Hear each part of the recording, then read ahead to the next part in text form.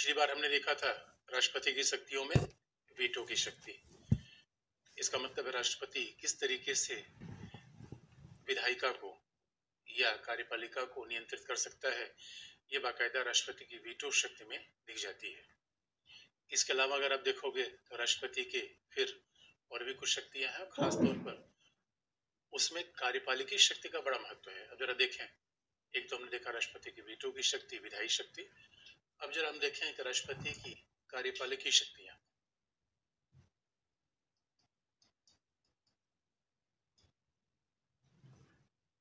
Executive powers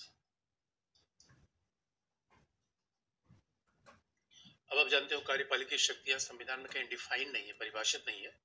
फिर भी कार्यपालिकी शक्ति का मतलब होता है राष्ट्रपति का सबसे बड़ी शक्ति होता है अपॉइंटमेंट तो जो राष्ट्रपति नियुक्ति करता है तो हमारे संविधान में लिखा गया है कि राष्ट्रपति मूलतः जो सबसे बड़ी उसकी नियुक्ति होती है, नियुक्तियाँ तो कई होती है, राष्ट्रपति की सबसे बड़ी नियुक्ति प्रधानमंत्री के रूप में होती है।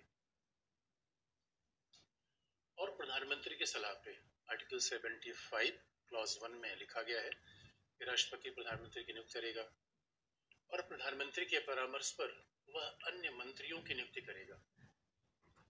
तो प्रधानमंत्री के परामर्श पर राष्ट्रपति अन्य मंत्रियों की नियुक्ति करेगा।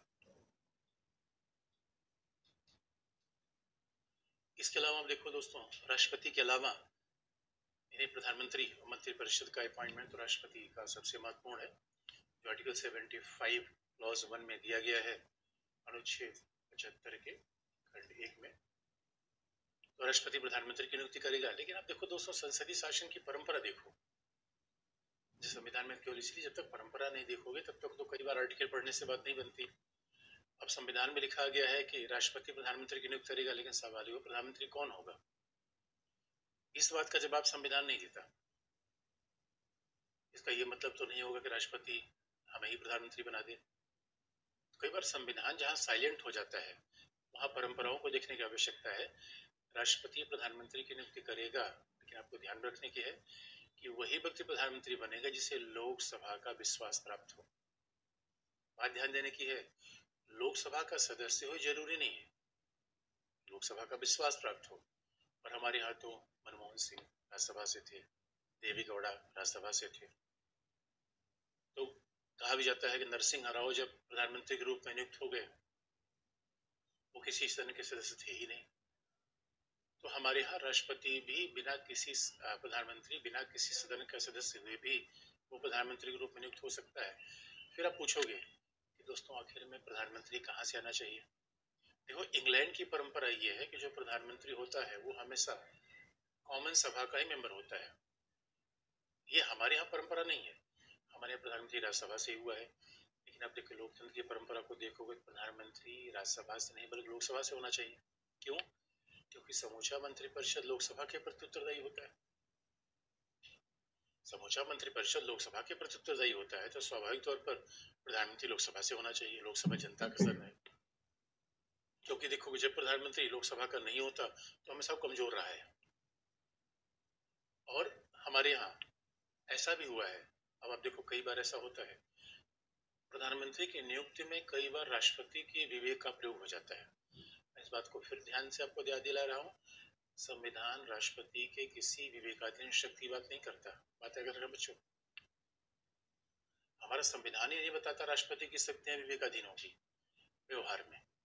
व्यवहार में कई बार राष्ट्रपति अपने विवेक का प्रयोग कर सकता है। और खास तौर पर इसी कंडीशन है। अब देखो, आज की डेट में तो मोदी को बीजेपी को 300 से ज़्यादा सीट मिल गई।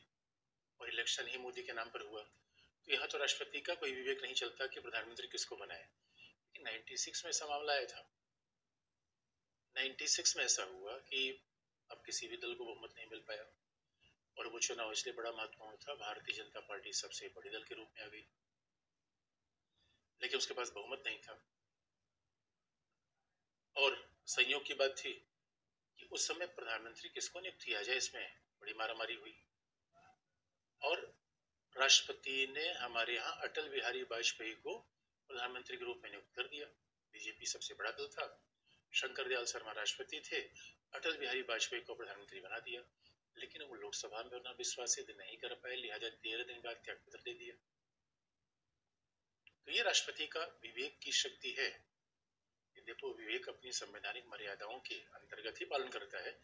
क्योंकि संविधान केवल ये लिख रहा है, अनुच्छेद 75 क्लॉज वन कह रहा है कि राष्ट्रपति प्रधानमंत्री की नियुक्ति करेगा। इसका ये मतलब न माना जाए कि राष्ट्रपति आम व्यक्ति की नियुक्ति कर देगा। ऐसा न कहा जाए क्योंकि राष्ट्रपति ने और एक, और एक बार और भी एग्ज़ाम्पल है।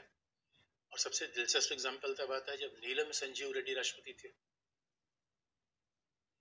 उस समय मोरारजी भाई देसाई प्रधानमंत्री। तो संयुक्त से मोरारजी देसाई के खिलाफ अविश्वास प्रस्ताव आ गया और त्याग पत्र दे दिया उन्होंने।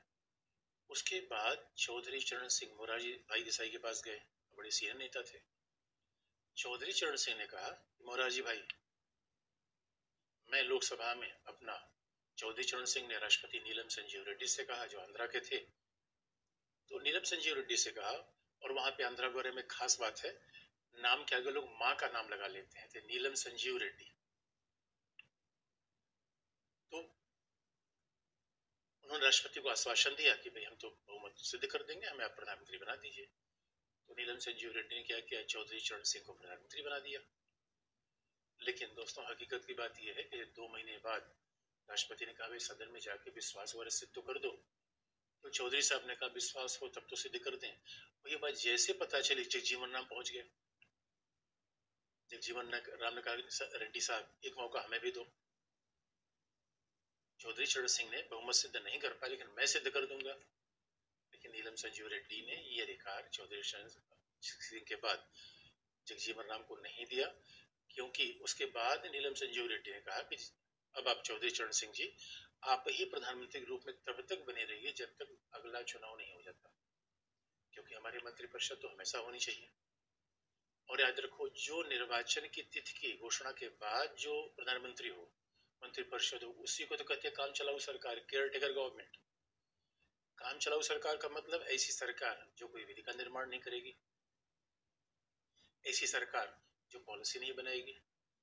काम चलाऊ सरकार का मतलब होता है ऐसी सरकार जो प्रतिदिन के प्रशासन का संचालन करेगी।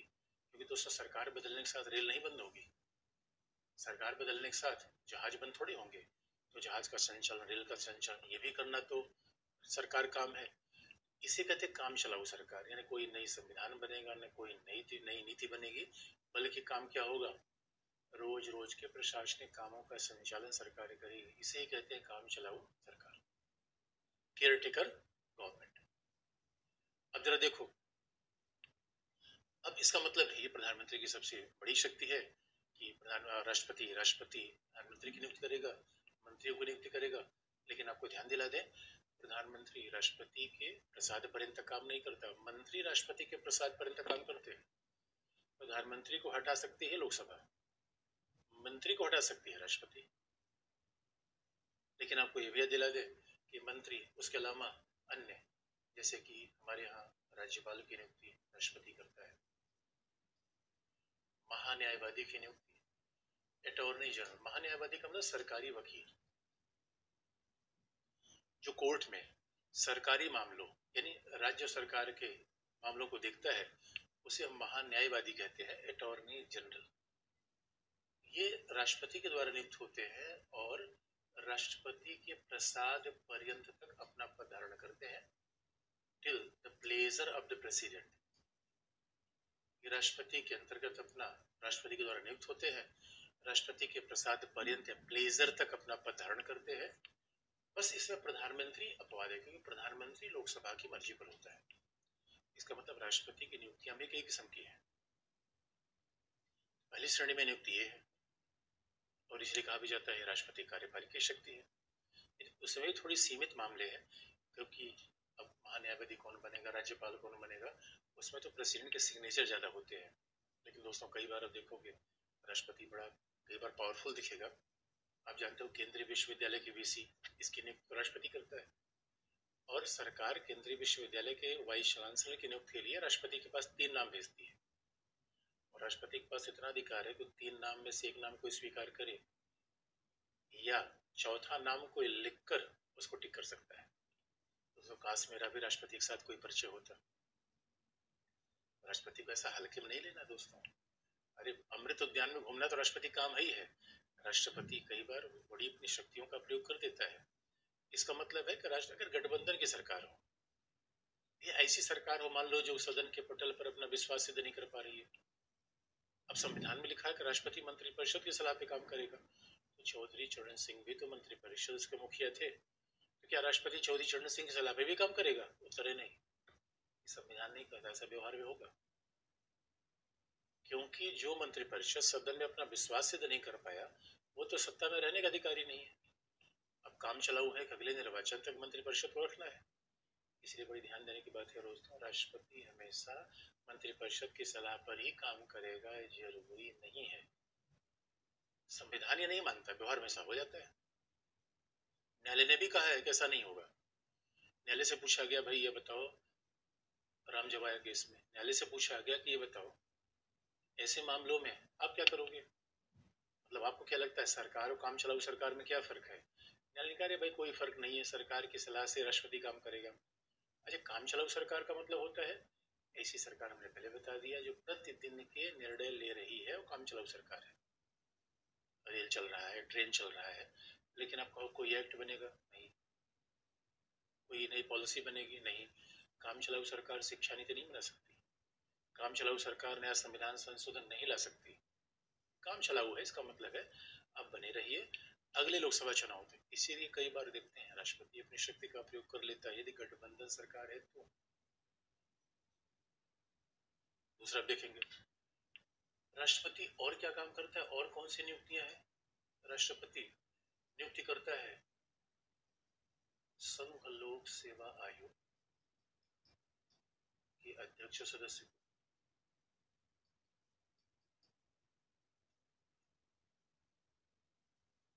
संघ लोक सेवा आयोग के अध्यक्ष और सदस्य की नियुक्ति भी राष्ट्रपति करता है। इतना ही नहीं, वो तो स्वाभाविक रूप राष्ट्रपति कुछ ऐसी संस्थाओं का भी नियुक्ति करता है जो संविधान में नहीं है। जो संविधान में नहीं, वो संविधानेतर है। तो जैसे कि आप देखेंगे कि मानव अधिकार आयोग के अध्यक्ष, भाई, ये तो संविधान में नहीं है। मानव अधिकार आयोग के अध्यक्ष और सदस्य।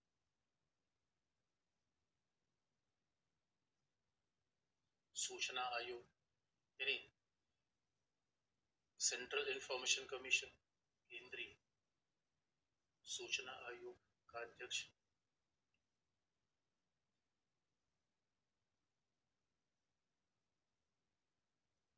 केंद्रीय सूचना आयोग के अध्यक्ष सदस्य भी, केंद्रीय सूचना आयोग के अध्यक्ष सदस्य की नियुक्ति भी कौन करेगा?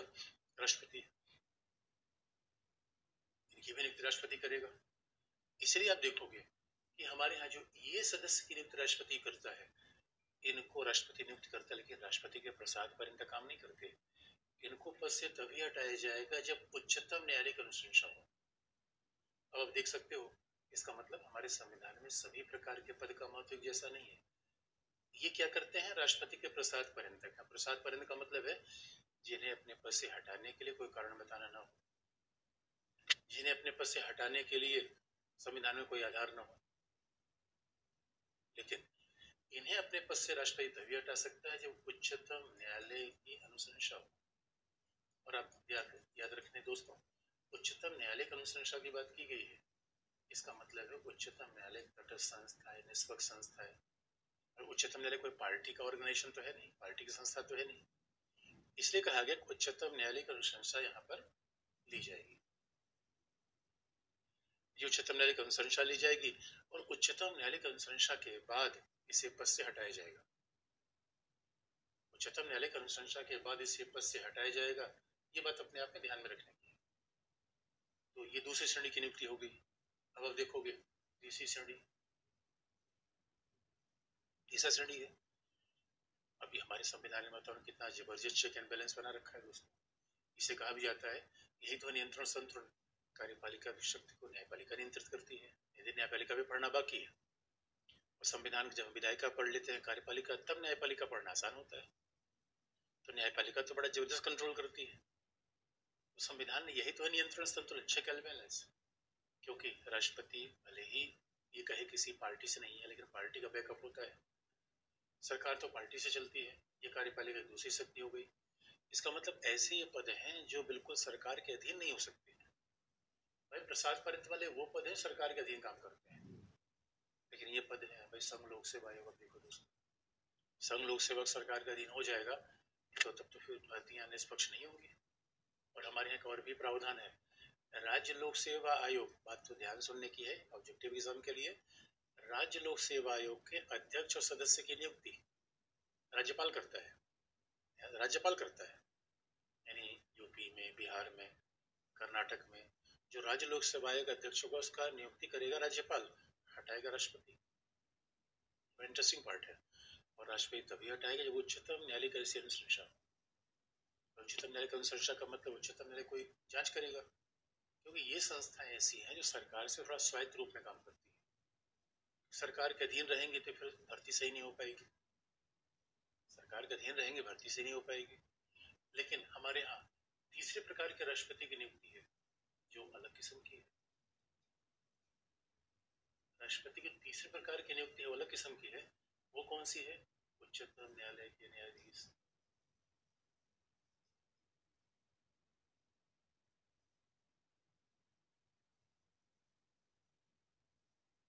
वो है उच्चतम न्यायालय के न्यायाधीश, उच्च न्यायालय के न्यायाधीश।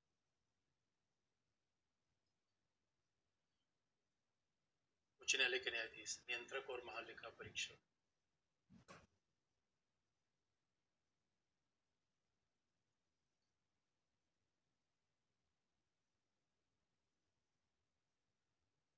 नियंत्रक और महालेखा परीक्षक तथा मुख्य निर्वाचन आयुक्त।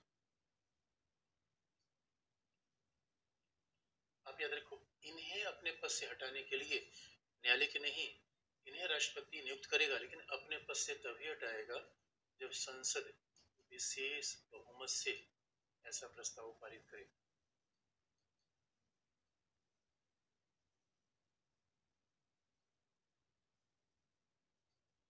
जब संसद विशेष बहुमत से ऐसा प्रस्ताव पारित करे, तभी उसे हटाया जाएगा।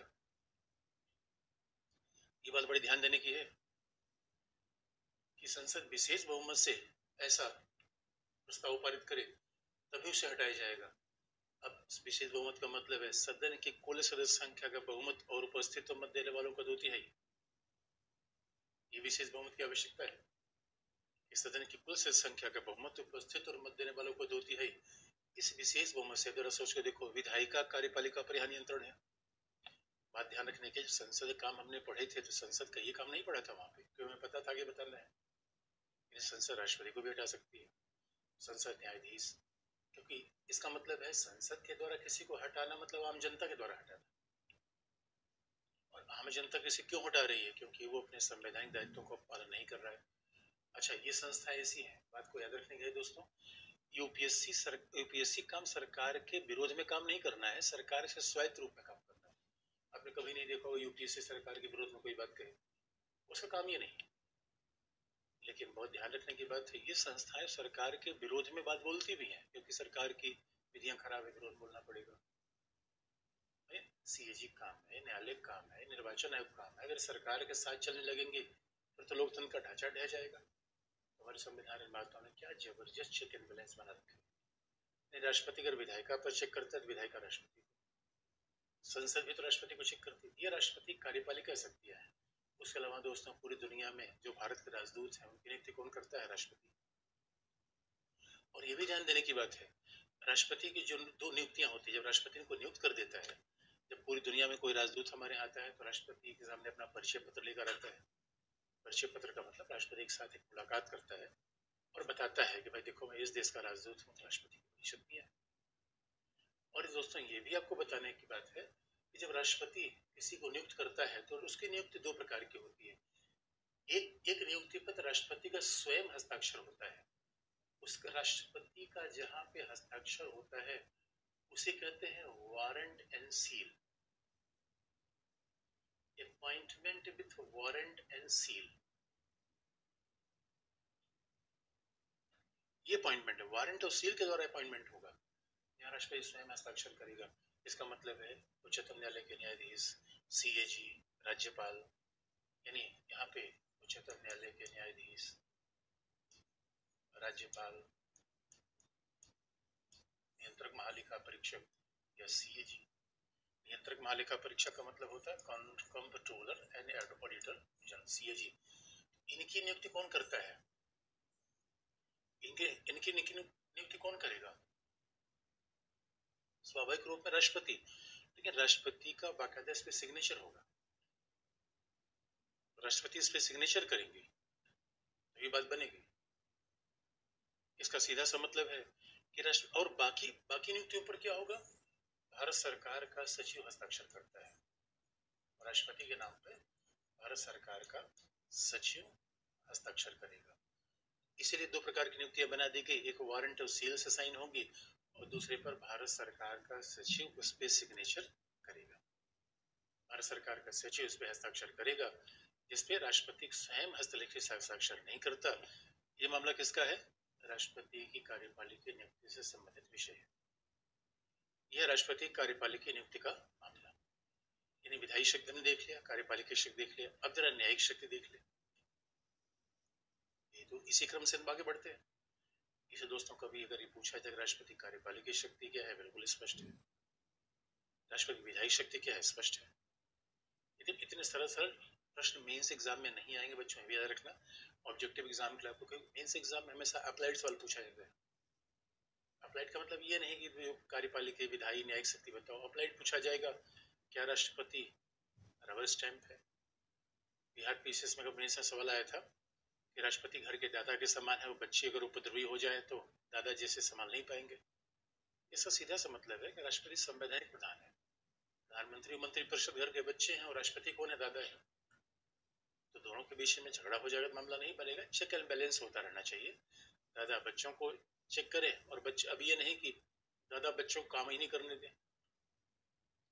अब दादा को लग गया कि बच्चों काम अड़ंगा डालें तो भी दादा को हटा दिया जाएगा। लेकिन बच्चों को लग जाए कि दादा की ज़रूरत ही नहीं है, वही बात ठीक नहीं है। मैंने तो पता चला कि जो फ़िल्म नहीं देखना, वही फ़िल्म देख रहे हैं। तो ये बड़ा संतुलन, बारीक संतुलन रखा कि कोई जो बड़ा बुज़ुर्ग होता है दोस्तों, बड़ा बुज़ुर्ग बच्चों को इसलिए सलाह देता है कि जो गलतियाँ हमने की आने वाली पीढ़ी ना करे। अच्छा कई बार बड़े बुज़ुर्ग जब हमारे कामों में टीचर है, बड़ा बुज़ुर्ग जब हस्तक्षेप करता है तो बच्चे नाराज़ होते हैं, बच्चे कहते हैं, आज़ादी। ये तो तो बापू सेहत के लिए हानिकारक है।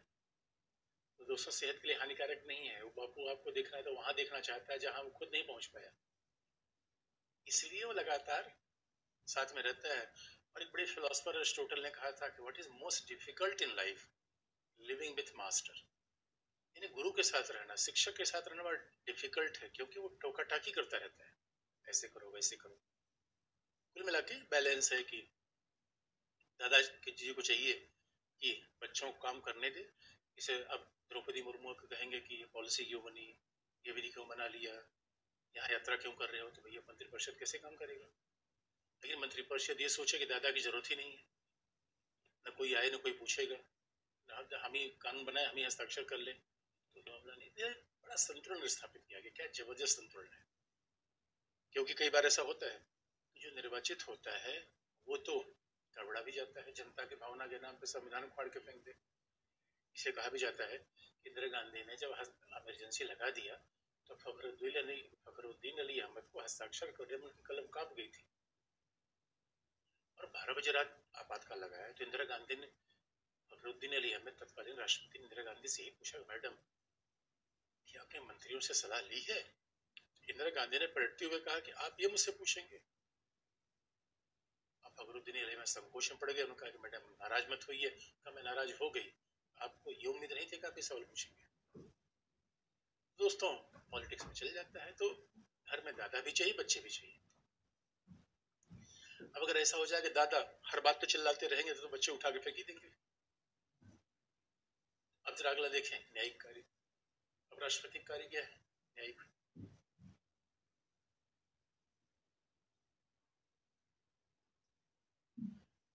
न्यायिक कार्य में न्यायाधीशों को नियुक्त राष्ट्रपति करता है मैं बता दिया। न्यायिक कार्य में जो बड़ा महत्वपूर्ण क्षमादान की शक्ति, राष्ट्रपति के क्षमादान की शक्ति पार्डन पावर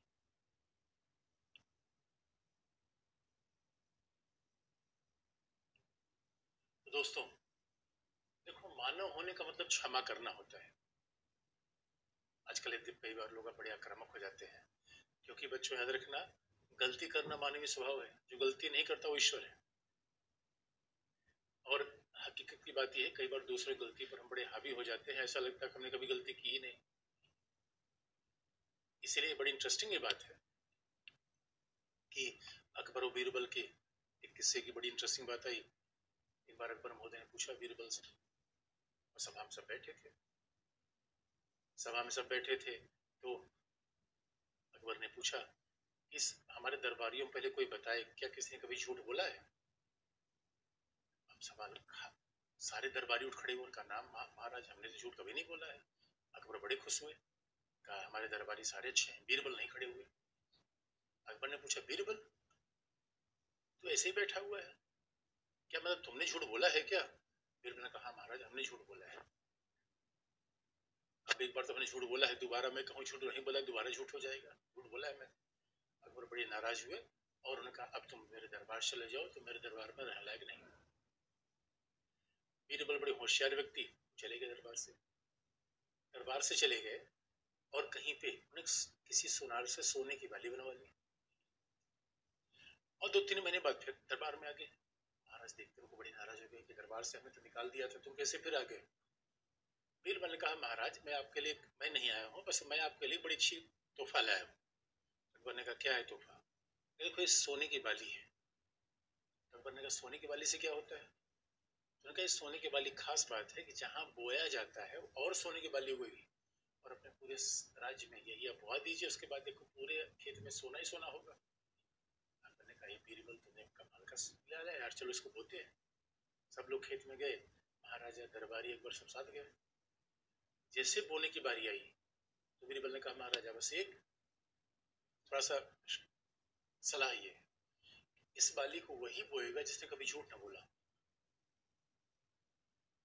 दरबारी एक करके पीछे हटने लगे। उनका अगर झूठ बोलने वाला है, बाली लगाएगा, दूसरी बाली होगी ही नहीं। तो दरबारी करके पीछे हट गए। बीरबल तो ने पहले ही बोल दिया था, मैंने झूठ बोला। अंतिम बचे महाराजा। महाराजा ने कहा, मैंने भी झूठ बोला था बचपन तो बात सीधी से दोस्तों, कई बार आजकल हमारा समाज बड़ा इंटॉलरेंट होता जा रहा है। और देखो दोस्तों, क्षमा कर देना, यही मानवता की सबसे बड़ी सबसे बड़ी सभ्यता की पहचान होती है। An eye for eye will make whole world blind दोस्तों आँख के बदले आँख कान के बदले, कान कई देशों में से दंड के प्रावधान चलते हैं, बड़ा अमानवीय है वो एकदम बराबर है। इसीलिए आप देखोगे, क्षमा की बात क्यों आती है? तो आप, क्षमा का मतलब क्या होता है? संविधान के 72 में, आर्टिकल 72 में क्षमादान की बात की गई है। आर्टिकल 161 में राज्यपाल को क्षमादान की ठीक वही सकती है। तो जो क्षमादान का उद्देश्य क्या है दोस्तों? ये मानव अधिकारों के अनुरूप है। ये क्षमादान क्यों दिया जाता है? क्षमादान का प्रयोग क्यों संविधान में रखा गया? क्योंकि चाहे लिखा नहीं गया संविधान में संविधान बड़ी सिंपल बात लिखी गई है कि क्षमादान का पर्पज क्या होता है? न्यायालय भी गलती कर सकता है दंड तो न्यायालय देता है। न्यायालय भी त्रुटि कर सकता है, गलती कर सकता है।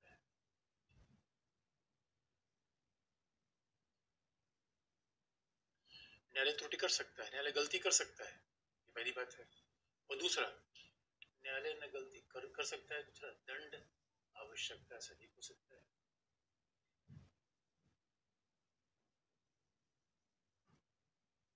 दंड ही आवश्यकता से अधिक है। तो दोस्तों, ये तो प्राकृतिक न्याय का उल्लंघन है।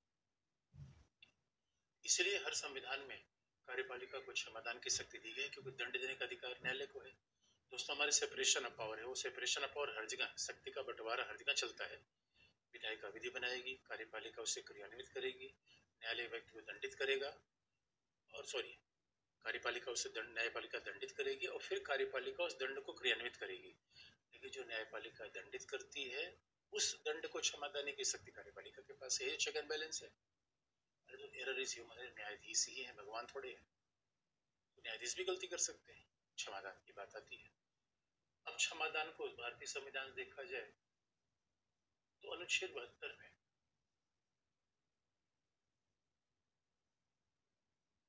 अनुच्छेद 72 में पहली बात देखी गई है क्षमा कोई एक शब्द नहीं है दोस्तों। तो क्षमादान का मतलब क्या है? दंड की मात्रा कम कर देना, दंड के स्वरूप बदल देना, ये सब क्षमादान है। क्षमादान कोई एक मतलब नहीं है कि एक ही वस्तु क्षमा दान के कई प्रकार हैं। इसमें सबसे बड़ा है पार्डन जिसे क्षमा कहते हैं, उसका मतलब है व्यक्ति को सभी आरोपों से मुक्त कर दिया जाए।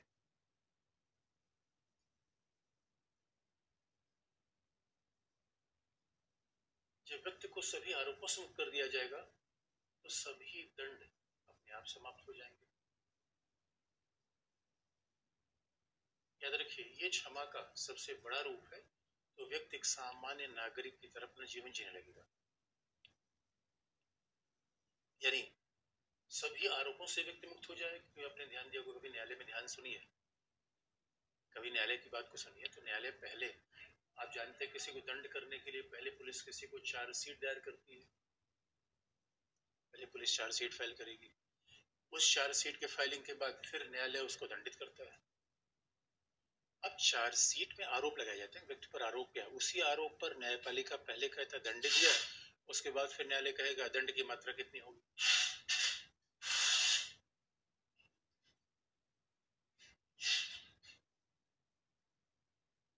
फिर न्यायालय कहेगा, दंड कितना दिया जाएगा? जब हम क्षमा करते हैं, इसका मतलब है, व्यक्ति को सभी आरोपों से हमने मुक्त कर दिया। ये क्षमा है। अब उसके ऊपर कोई आरोप रहा ही नहीं। आरोप है तब तो दंड दिया गया। अभी छोड़ छोड़ दो यार अभी।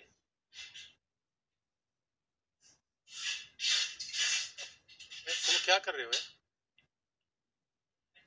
क्लास कर रहे हो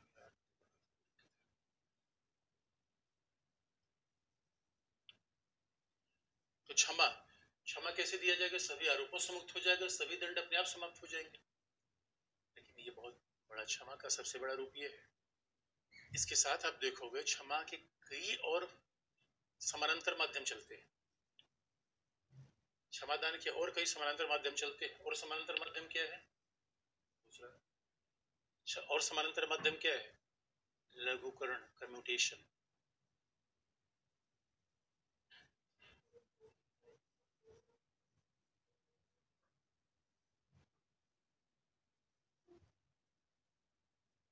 लघुकरण, या कम्यूटेशन अब लघुकरण क्या है? कम्यूटेशन क्या है? लघुकरण का सीधा सा मतलब है किसी व्यक्ति के मृत्युदंड की सजा को आजीवन कारावास में बदल देना।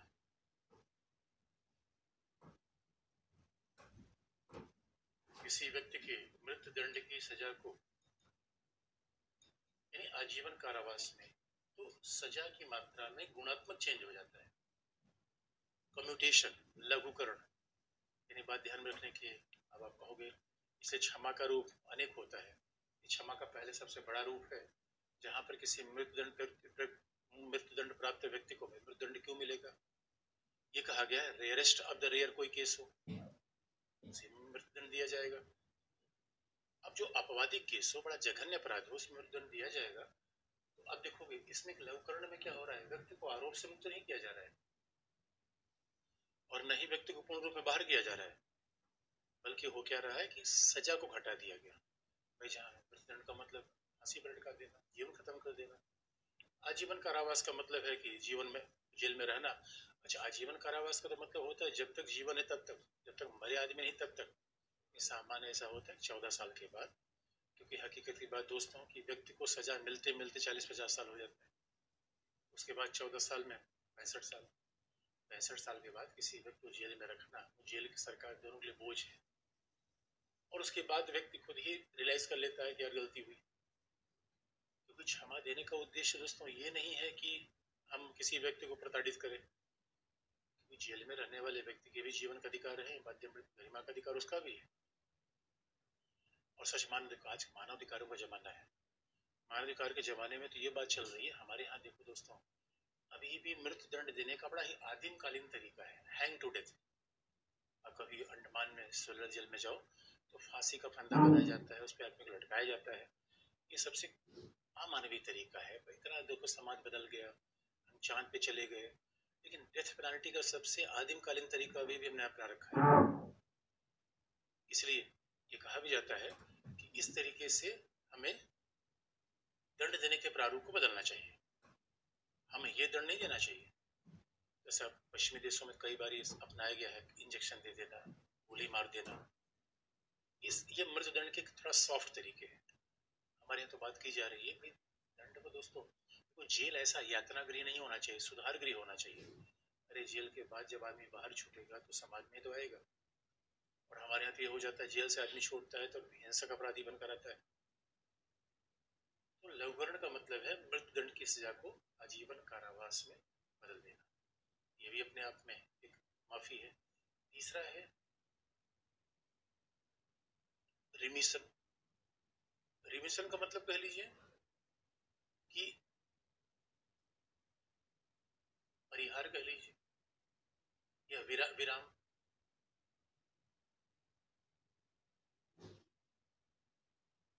रिमिशन का मतलब होता है विराम अच्छा हिंदी में अलग अलग अनुवाद भी होते रहते हैं। अब विराम का मतलब होता है, देखो, यहाँ भी दोस्तों क्या मृत्युदंड की सजा को आजीवन कारावास बदलना, यहाँ सजा में गुणात्मक कमी है। अच्छा गुणात्मक कमी का मतलब होता है, दोस्तों, दूध का दही बन जाना, परिवर्तन दो प्रकार का होता है, मात्रात्मक, दूसरा गुणात्मक। अच्छा व्यक्ति में भी लंबाई बढ़ रही है तो मात्रात्मक परिवर्तन। लंबाई बढ़ने के साथ साथ दिमाग भी बढ़ रहा है तो गुणात्मक परिवर्तन। इसे तो लंबाई बढ़ जाए और दिमाग न बढ़े तो पागल आदमी हो जाता है। इसे मात्रात्मक परिवर्तन का मतलब क्या होता है कि किसी को व्यक्ति को पंद्रह दस वर्ष की सजा है तो दस वर्ष की सजा को पाँच वर्ष कर देना। ये क्या है? सजा की मात्रा घटाई गई। ये सजा के में परिवर्तन क्या है? मात्रा। क्वांटिटेटिव मात्रा का परिवर्तन है। ये सजा में क्वांटिटेटिव परिवर्तन है, मात्रा का परिवर्तन है। दस वर्ष की सजा को हटाकर पाँच वर्ष कर दी गई, ये मात्रात्मक है। मृत्यु दंड की सजा को हटाकर आजीवन कारावास में बदल दिया गया, ये क्या है? गुणात्मक। क्योंकि सजा करेक्टर ही बदल जा रहा है। और तीसरा, ये भी ये भी ये भी क्षमा का रूप है। क्षमा का पहला सबसे बड़ा रूप है। और आपको बता दें, किसी भी क्षमा के अन्य रूप में व्यक्ति आरोप से मुक्त नहीं होता। वो आरोपी हमेशा रहेगा स्वाभाविक रूप में इसको क्षमा दे दी एक अलग मुद्दा है। अब अगला जरा अगला, चौथा कौन सा है?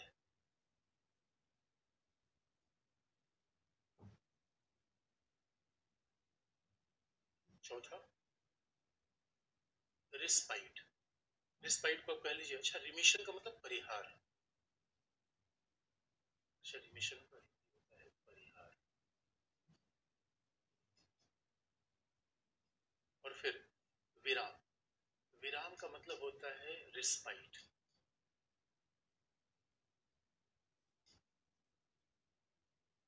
अब रिस्पाइट का मतलब है, ये बातें अनुच्छेद बहत्तर में लिखी गई है। और अनुच्छेद बहत्तर में केवल इतनी बात लिखी गई, क्षमा दान के प्रकार कितने हैं, बाकी और कोई चीज़ लिखी नहीं गई। तो रिस्पाइट का मतलब होता है कि व्यक्ति को रिस्पाइट का मतलब ये हो गया कि विशेष परिस्थिति को देखते हुए बात ध्यान में रखने की है। ये विशेष परिस्थिति केवल विराम में आएगी। अब विशेष परिस्थिति क्या हो तो हो सकती है? कोई महिला गर्भवती है। विशेष परिस्थिति क्या हो सकती है? किसी व्यक्ति को कोई असाध्य बीमारी हो गई, कैंसर हो गया तो भाई हॉस्पिटल में ट्रीटमेंट की सुविधा तो होती नहीं। अब याद रखो दोस्तों, बीमार आदमी को नहीं मारा जाता। दोहरा दंड कैसे दिया जाएगा? अनुच्छेद बीस में लिखा गया, दोहरा दंड नहीं होता। अब विशेष परिस्थिति होनी चाहिए। और विशेष अगर परिस्थिति है तो सजा में मात्रात्मक, गुणात्मक कोई भी चेंज हो सकता है। इसे कहते हैं रिस्पाइट सजा को मात्रात्मक रूप में भी काटा जा सकता है और सजा को गुणात्मक रूप में भी काटा जा सकता है। इसे रिस्पाइट का नाम देते हैं। अब मान लो कोई बीमार हो गया, कोई महिला गर्भवती है तो गर्भवती महिला को दंड देना पर्पज है, उसके बच्चे को थोड़े। ये और लास्ट में लास्ट में है प्रविलंबन रिप्रीव निलंबन कह लो, प्रविलंबन कह लो।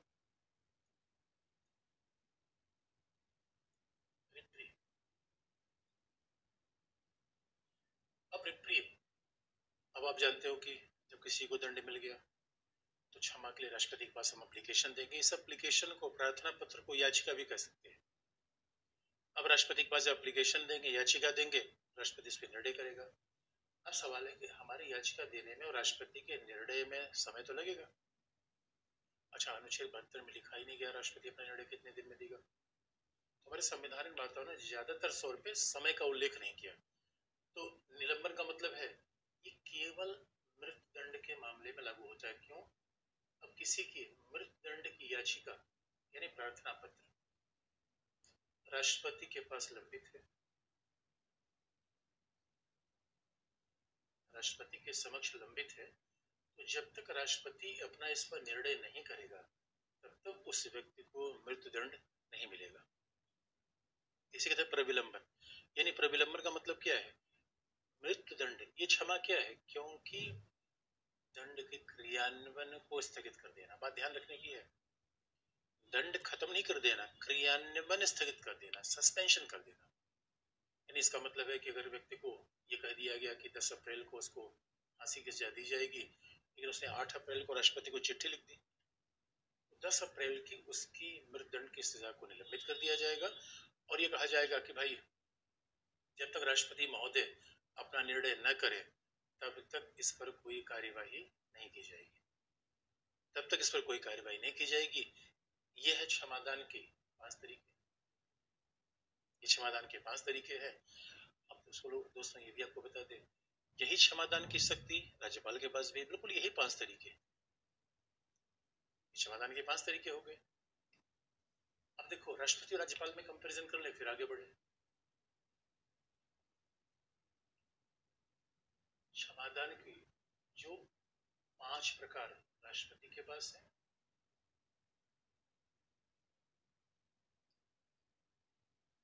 वही क्षमादान के पाँच प्रकार राज्यपाल के पास है। जो क्षमादान के पाँच प्रकार राष्ट्रपति के पास है, वही क्षमादान के पाँच प्रकार राज्यपाल के पास है। अभी इंटरेस्टिंग बात होगी। अब क्षमादान के प्रकार दोनों के पास है तो खास बात क्या है कि राष्ट्रपति राष्ट्रपति क्षमादान के मामले में मृत्यु दंड के मृत्यु दंड प्राप्त व्यक्ति को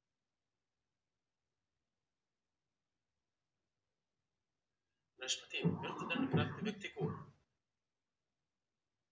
क्षमा दे सकता है। लेकिन राज्यपाल क्या करेगा? राज्यपाल मृत्यु दंड प्राप्त व्यक्ति की क्षमा का लघुकरण कर सकता है। क्षमा नहीं कर सकता।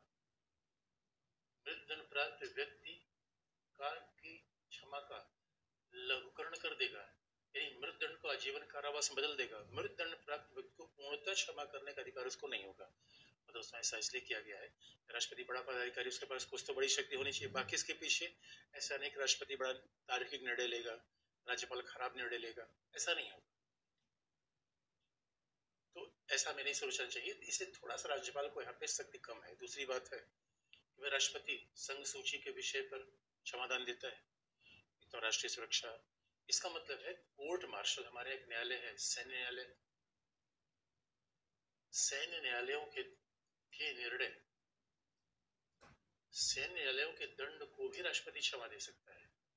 राज्यपाल को ऐसी कोई शक्ति नहीं है। जैसे सेना का मामला, संघ सूची का विषय है।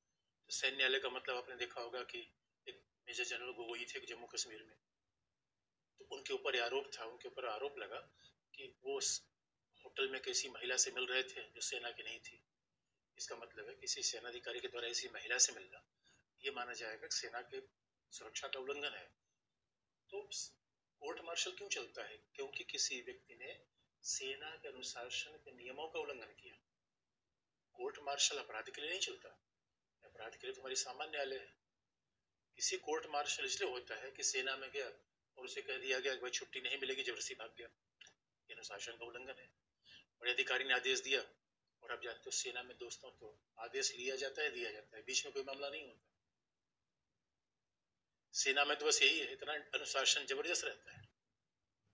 और अगर कोई घर में रिटायर्ड फौजी होगा, देखो, वो सुबह उठ के चार बजे उठ के एकदम घर खड़ा देता है। और वो तो ऐसा नहीं लगता कह रहा है तो क्या लगता है, ऐसा कमांडिंग कर रहा है, घर में भी कमांडिंग कर रहा है, आदेश दे रहा है। तो राज्यपाल की बात है। अब सवाल है, इतनी बात तो संविधान में लिख दी गई। लेकिन अब सवाल है, क्षमादान की प्रक्रिया में कैसे याचिका दी जाएगी? क्षमादान में राष्ट्रपति कैसे काम करेगा? ये सारी बातें संविधान में है नहीं। तो आप जानते हो दोस्तों, जो बात संविधान में नहीं है, वो क्लैरिफाई करने के लिए मैं दो चीज़ों का सहारा लेना पड़ेगा। या तो संसदीय विधि या न्यायालय के निर्णय। अब जरा देखो, हम व्यवहारिक मुद्दे पर आ जाए। इतनी बात तो संविधान में है। अब हम व्यवहारिक मुद्दे पर कैसे आए? तो व्यवहारिक मुद्दा ये है क्षमादान से संबंधित जो व्यवहारिक मुद्दे हैं पहला। क्षमादान से संबंधित जो व्यवहारिक मुद्दा है, पहला मुद्दा ये है कि क्षमादान से संबंधित जो व्यवहारिक मुद्दा है, पहला मुद्दा यह है कि राष्ट्रपति को अगर क्षमादान की शक्ति है, राष्ट्रपति अगर क्षमादान की शक्ति है तो बात ध्यान में रखने की है। ये राष्ट्रपति के क्षमादान की शक्ति विवेकाधीन शक्ति है। लेकिन यहाँ विवेकाधीन का मतलब अलग है। बात ध्यान रखने की है, राष्ट्रपति के क्षमादान की शक्ति विवेकाधीन है, लेकिन राष्ट्रपति यह क्षमादान शक्ति का प्रयोग मंत्रिपरिषद की सलाह से करेगा। कुल मिलाकर ऐसा नहीं कर सकता राष्ट्रपति अपने से क्षमादान का प्रयोग कर ले। और ये 1980 में उच्चतम न्यायालय ने मारू राम वाद में कहा है। मारू राम वाद? में ध्यान देने की बात है। आप कहोगे, सर, ये क्या मतलब है? ये दोनों तो विरोधाभासी है। एक बार करो, राष्ट्रपति की क्षमादान शक्तियाँ विवेकाधीन है। सॉरी फिर आप कह रहे हो कि राष्ट्रपति मंत्रिपरिषद की सलाह से काम करेगा। अरे जब मंत्रिपरिषद की सलाह से काम किया? तो उसका विवेक कैसा? लेकिन दोस्तों, बात ध्यान रखने की है। यानी ये बात तय हो गई। मंत्रिपरिषद की सलाह के बिना राष्ट्रपति किसी को क्षमादान नहीं दे सकता। इसका मतलब है क्षमादान राष्ट्रपति की संवैधानिक शक्ति है, व्यक्तिगत शक्ति नहीं है। दोस्तों देखो व्यक्तिगत शक्ति अलग होती है। हम दो मिनट में खुश हो सकते हैं, दो मिनट नाराज़ हो सकते हैं। व्यक्तिगत शक्ति अलग होती है। संवैधानिक का मतलब है जिसका प्रयोग संविधान के प्रावधान से, संविधान की मान्यताओं से होना चाहिए। हमारे खुशी होने से और हमारे नाराज़ होने से कोई मतलब नहीं होता। तो राष्ट्रपति बहुत हमदर्दी रखें किसी व्यक्ति के, यार तो बड़ा अच्छा आदमी है ये होना चाहिए जघन्य अपराध किया। है तो वहाँ राष्ट्रपति का व्यक्तिगत राय नहीं मान्यता रखती। तो कई बार कहा भी जाता है दोस्तों कि जो संवैधानिक पदों पर बैठते हैं, उनकी व्यक्तिगत राय से ज़्यादा नियम कानून हावी हो जाते हैं। इसे राष्ट्रपति की व्यक्तिगत शक्ति नहीं है, संवैधानिक शक्ति है, लेकिन तो विवेकाधीन का मतलब क्या होगा? यहाँ विवेकाधीन का मतलब होता है कि राष्ट्रपति का निर्णय न्यायालय के निर्णय से अलग हो सकता है। राष्ट्रपति का निर्णय न्यायालय के निर्णय से पृथक हो सकता है। बस ये बात ध्यान रखने की विवेकाधीन का मतलब ये नहीं है कि राष्ट्रपति जो चाहेगा कर लेगा। राष्ट्रपति का निर्णय, राष्ट्रपति का निर्णय न्यायिक निर्णय से अलग हो सकता है, ये बात बहुत ज़रूरी है।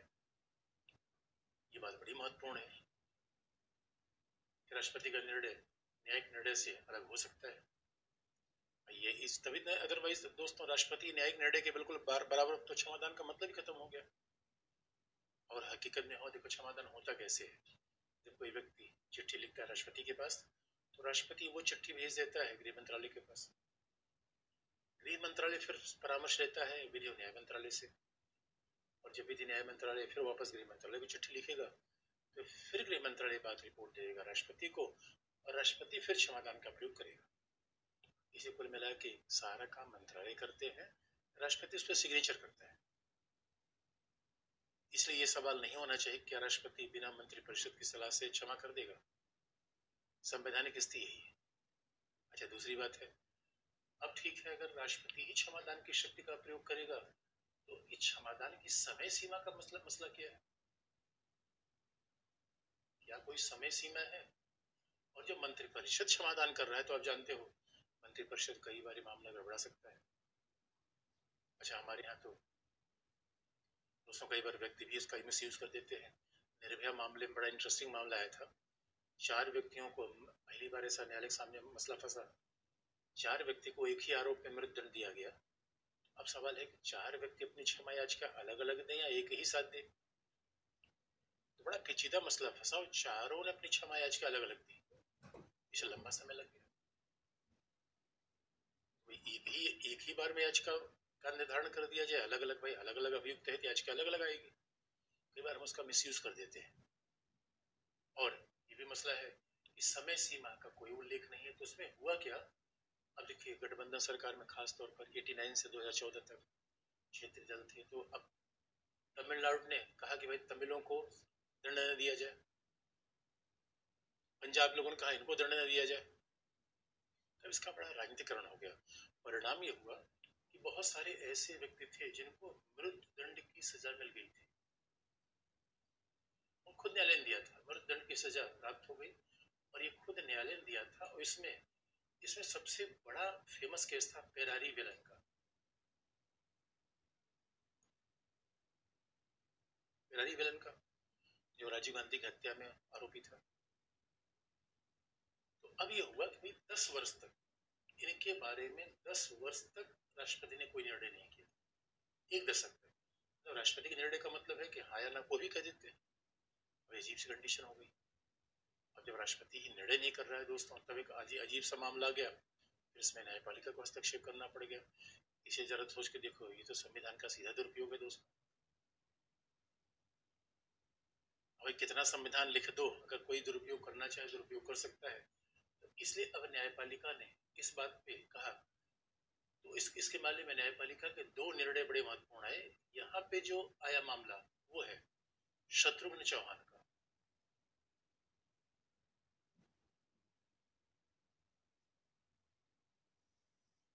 शत्रुघ्न चौहान बाद आया वर्ष 2014 में। जिसने बात कही, जिसने बात कही, अगर किसी व्यक्ति के मृत्युदंड की सजा को निर्धारित करने में अनावश्यक विलंब किया गया हो। अगर किसी व्यक्ति मृत्युदंड की सजा को निर्धारित करने में अनावश्यक विलंब किया गया हो, जिसकी कोई व्याख्या न हो पाए, जो अविश्लेषणीय हो, अव्याख्यायित हो, इसके कारण उच्चतम न्यायालय ने क्या किया? मृत्यु दंड प्राप्त व्यक्ति की सजा को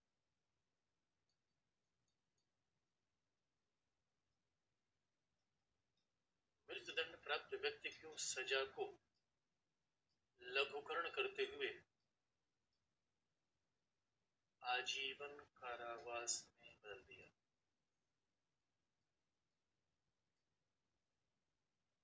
मृत्युदंड की प्राप्त व्यक्ति की सजा को आजीवन कारावास में बदल दिया। ये बड़ा इंटरेस्टिंग पार्ट था। यानी हैरानी की बात है, न्यायपालिका ही दंडित कर रहा है, न्यायपालिका ही क्षमा कर रही है। और हमने तो अभी देखा था, हमने कहा था क्षमा करने का अधिकार राष्ट्रपति को है। कमाल का मामला आ गया। और इसीलिए, और ये न्यायपालिका ने क्यों हस्तक्षेप किया? न्यायपालिका ने कहा, भैया, ऐसा कौन निर्णय है? दस साल नहीं कर रहे हो। और दस साल तक निर्णय न करने का मतलब व्यक्ति को रोज रोज मारना। दस साल तक आप उसको दोहरा दंड दे रहे हो। इसलिए राष्ट्रपति ने कहा कि अब हम इसको क्षमादान को आजीवन कारावास बदल दे रहे हैं। और बाकी फिर इसमें और राजनीति हो गई। तो तमिलनाडु के दलों ने कहा करे भैया, जब उच्चतम न्यायालय तरह काम कर ही दिया है तो जेल से फ्री करो। छोड़ो इसको दिल से। दोस्तों, ये तो बड़ी राजनीतिक प्रतिस्पर्धा है। इसका मतलब क्षमा का प्रयोग किन आधार पे होना चाहिए। संविधान में तो नहीं लिखा गया है। लेकिन दोस्तों, क्षमादान का प्रयोग तो जाति, धर्म संकीर्ण क्षेत्रवाद के आधार पर नहीं होना चाहिए।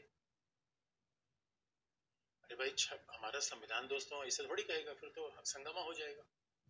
क्षमा का प्रयोग किया जा सकता है। यदि व्यक्ति का कोई आपराधिक रिकॉर्ड न हो। क्षमा का प्रयोग किया जा सकता है। यदि समाज की भलाई में ऐसा हो क्षमा का प्रयोग किया जा सकता है। यदि व्यक्ति अकेला परिवार का भरण पोषण करने वाला हो, एकता खंड के लिए ज़रूरी हो, ऐसे आधार क्षमादान के लिए यूज़ कर हो सकते हैं। अब ये तो नहीं कि व्यक्ति तमिल है या कश्मीरी है या हिंदी है या उड़िया है। यहाँ पे पॉलिटिक्स हुई। इसे उच्चतम न्यायालय ने क्या किया कि ऐसे व्यक्तियों की सजा का लघुकरण कर दिया और बाद में पिरारी को छोड़ दिया गया। तो शत्रुघ्न चौहान ने एक बड़ी इंटरेस्टिंग बात कह दी उच्चतम न्यायालय ने दंड भी दिया, उच्चतम ने माफ़ कर दिया। उच्चतम न्यायालय को आना इसलिए पड़ा कि इस कार्यपालिका काम ही नहीं कर रही है। और दोस्तों, एक बार खास तौर पर देखेंगे, यहाँ बड़ा पेचीदा मसला है। कई बार सरकार ये कहती है कि न्यायालय काम क्यों करता है, न्यायालय काम क्यों करता है? न्यायालय ने न्यायालय ने बताओ, इलेक्शन कमीशन के अपॉइंटमेंट का अधिकार न्यायालय को है? न्यायाधीशों का अपॉइंटमेंट न्यायालय करेगी? कई बार सरकार का आरोप होता है कि न्यायालय हमारा काम छीन रही है। यहाँ तो ऐसा दिखता है कि न्यायालय खुद चाहता है, सरकार खुद चाहती है न्यायालय ऐसा काम करे। क्यों? आपको सर ये क्यों सरकार चाहेगी? दोस्तों, सरकार इसलिए कई बार चाहती है सरकार को तो वोट लेना है, वो किसी को नाराज़ नहीं करना चाहती। और जब न्यायालय कोई बात कहेगा तो न्यायालय तो चुनाव लड़ता नहीं। अब ये बड़ी आज अजीब सी बात है। चित भी अपनी, पट भी अपनी, तुम्हारे यहाँ पॉलिटिशियन कई बार मामला गड़बड़ा देता है, केवल अपने हितों को देखता है।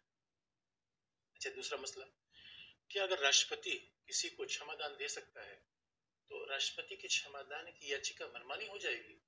इस बात को, यानी राष्ट्रपति के क्षमादान का निर्णय क्षमादान मनमानी होना चाहिए, तार्किक होना चाहिए। भाई, राष्ट्रपति को क्षमादान दिया गया, इस बात को पूर्व सुधाकर केस था 2006 में आया।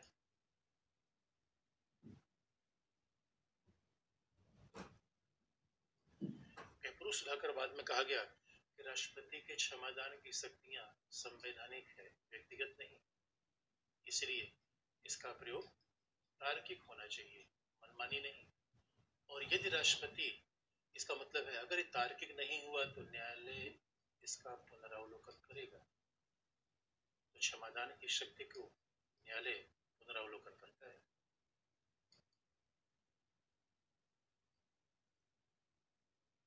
क्षमादान की शक्ति का बाकायदा न्यायालय पुनरावलोकन करता है। इसे दोस्तों न्यायालय की आवश्यकता पड़ती है विधि संविधान की व्याख्या करे तो न्यायालय चाहिए। फिर तो जो मर्ज़ी वैसे काम कर देगा। इसलिए ये राष्ट्रपति की संवैधानिक शक्ति है। संवैधानिक शक्ति का मतलब मनमानी यूज़ थोड़ी होगी। संविधान की शक्ति का प्रयोग तो इसलिए ने कहा राष्ट्रपति की व्यक्तिगत शक्ति नहीं है। और अगर राष्ट्रपति नहीं है, जब भी बिल्कुल मनमानी आधार पर या तार्किक आधार पर और ये मनमाना और अतार्किक बड़ा सब्जेक्टिव होता है दोस्तों। देखिए फिर हमने कहा कि इसका कोई ऑब्जेक्टिव मतलब नहीं है, न्यायालय ही तय करता है। इसलिए आज की डेट में ये बात सरकार को ध्यान में रखना पड़ता है। कि किसी व्यक्ति को क्षमादान दिया जा रहा है तो मनमानी रूप में ना हो। अच्छा ये बात क्यों ज़रूरी है? क्षमादान देते समय भी बच्चों ये बात ध्यान में रखने की पहले जेल मैनुअल हम देखते हैं। क्षमादान देने के लिए पहले रिपोर्ट तो मांगते हैं जेल प्रशासन की। तो जिस जेल में व्यक्ति बंद है, बाकायदा उसकी लिखित रिपोर्ट आती है, उसको आचरण के बारे में लिखा होता है। और अगर व्यक्ति का आचरण बड़ा अच्छा है व्यक्ति जेल में गया, सबको योगा सिखाने लगा। इसका मतलब है कि, देखो दोस्तों, हकीकत की बात है, अपराधी व्यक्ति नहीं होता। गांधी ने कहा था, अपराधी से घृणा करो, अपराध से नहीं। बार परिस्थितियाँ ऐसी हो जाती हैं कि अच्छे से अच्छा व्यक्ति इसमें विवेक हो बैठता है, अपराध हो जाता है। तो क्षमा का पूरा प्रावधान से रखा गया कि ऐसे व्यक्ति को बाहर किया जाए, समाज की मुख्य धारा में जोड़ा जाए। लेकिन इसका ये मतलब नहीं है कि, भाई राष्ट्रपति अगर इसका मनमानी प्रयोग करेगा तो अपने दल के लोगों को सबको क्षमा करवा देगा मंत्रिपरिषद। मंत्रिपरिषद के कार्यकर्ता क्षमादान हो जाए, इसलिए आपने देखा होगा कि गुजरात का लेटेस्ट यही। तो सिद्धांत नहीं बदलता दोस्तों, घटनाएँ बदल जाती है।